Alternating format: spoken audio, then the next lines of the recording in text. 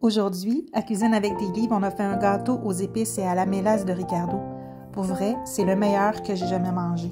On commence par moudre dans notre moulin de la coriandre, du fenouil, du clou de girofle. Et malheureusement, j'ai mis aussi l'anis étoilé. Il fallait pas la moudre, mais c'était très bon quand même.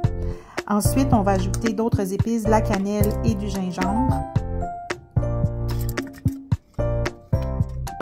Ensuite, on doit prélever le zeste d'une orange complète et d'un citron complet. Ensuite, on s'en va à la casserole et on doit porter à ébullition la cassonade, le beurre, euh, la mélasse, nos épices et les zestes d'orange et de citron.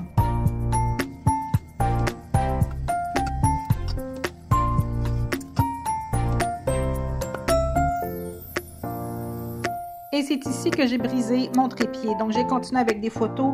On mélange au fouet les œufs, la crème sûre, le mélange de mélasse et les ingrédients secs et on fouette tout ça. Regardez-moi la belle pâte. On a mis ça dans un moule beurré. J'avais plus de papier parchemin puis ça n'a pas collé. C'était parfait quand même.